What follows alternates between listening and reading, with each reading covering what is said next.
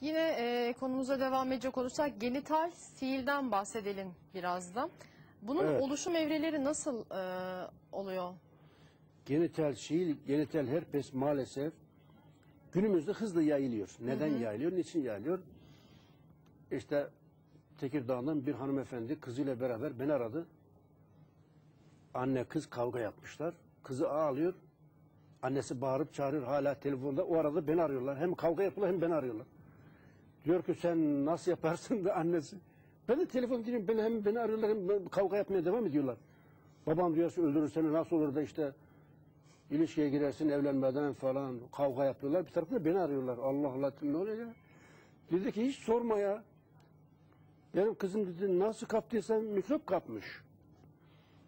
Yani herpes simplex tip 2 Evet, olabilir dedim yani illa ki doktor da demiş ki cinsel yolla bulaştı demiş. Kız da diyor ki asla ben ilişkide bulunmadım diyor. Bana dediler ki nedir bu? Cinsel yolla bulaştı diye bir şey yok. Ee, klozette alafranga, klozet kullanmak aslında sağlıklı değil. Evet. Ama mecbur kaldınız, umuma açık bir yerde kullandınız. Temiz- Bakterilerden üreyen bir şey diyorsunuz. Virüs. Yani virüs. Virüs. evet. Sizden önce orada birisi o klozeti kullandıysa ondaki mikrop size geçer. Yani illa ki cinsel yolla bulaşır diye bir şart yok.